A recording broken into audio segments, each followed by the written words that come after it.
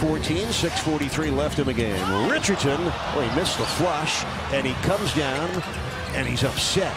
He threw his shoe off. I thought he was hurt, and he might be. Richardson came out of his shoe, and let's see if he's okay.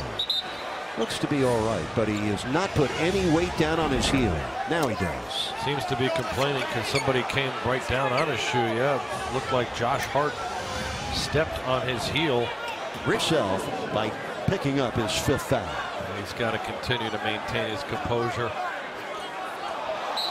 Oh my, he just threw his shoe into the seats and was hit with a technical.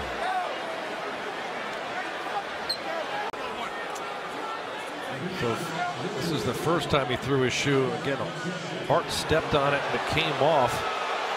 And now he's getting it, throwing it after the running back. Fouled, fouled LeBron to try to high for him. He previously had 14 at Phoenix.